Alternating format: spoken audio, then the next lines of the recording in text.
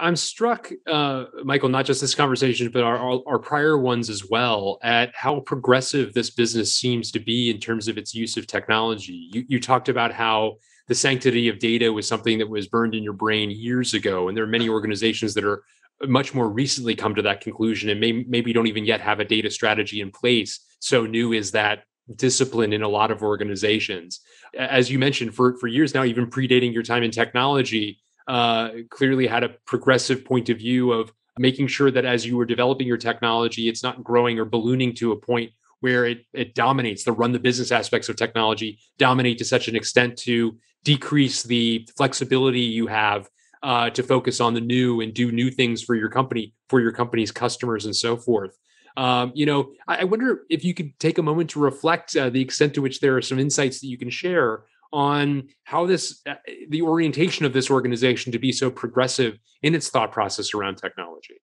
Yeah, you know, on the data side, it's been it's, it's, it's interesting. It takes me back. I, th- I remember back in 2003. It was back when the KPI dashboards was a big thing and we'd rolled out a KPI dashboard and it had, you know, key performance indicators had had 15 and then it grew to 20 and then it grew to like 500 and we realized it became a kind of an all performance indicators dashboard and we we needed a different technology infrastructure for that and i had to go i was a director at the time i wasn't even an officer in the company but i had to go out and sell this concept of because uh, of having a centralized resource for dashboarding, for for reporting, um, for data. And what we, you know, back then, data was very siloed. Um, you had every department that was kind of doing their own thing around data and and reporting. And I had to convince them, let's let's hold off on that. Let's pool resources.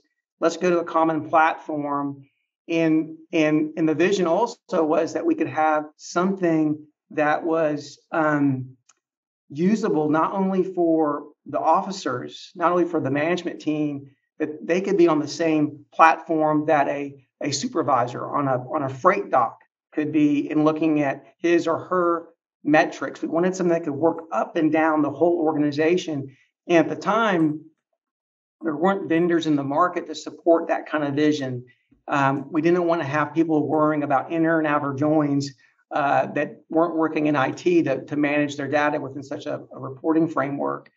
And, and so we did. We, we spent three years and we we we completely redid the data architecture for the organization and then redid the front end and built our own BI platform uh, for the company. It's still in place today. Um, we do have other products that we've we've added on uh, since then, knowing that we're that's not our our core competency.